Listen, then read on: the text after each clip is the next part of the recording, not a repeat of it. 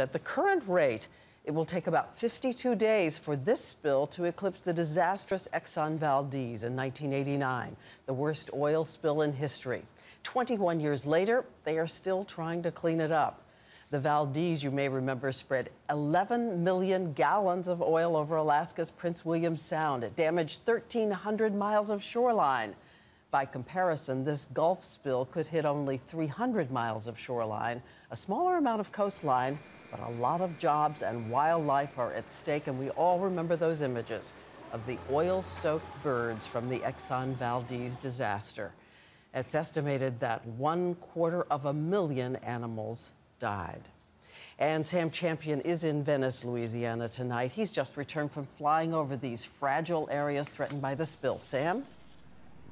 And Diane, they are spectacular. The about 500,000 acres that is the Mississippi River Delta, most of it right at sea level, but at any given time it can be underwater. And that's why it's not just the edges that are in danger, it's the whole delta.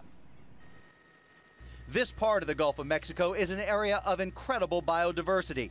If it can't be contained, the oil spill threatens more than 400 species of wildlife.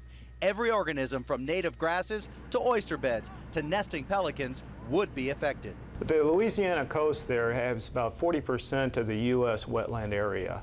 And so it's a spawning ground for fishing. It's a an area for birds, uh, wildlife, habitats, and so on.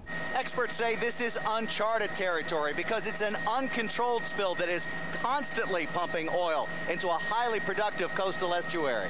To keep the toxic oil from reaching shore, cleanup crews are using oil booms. Here's how they work. The boom is a long linked plastic float. One side is weighted down, the other side inflatable so that it sits up in the water with two thirds below the surface, creating a barrier for the oil. After it's contained, the oil can then be either skimmed or burned off. But only 33 miles of booms have been deployed, while 300 miles of coastline are under threat.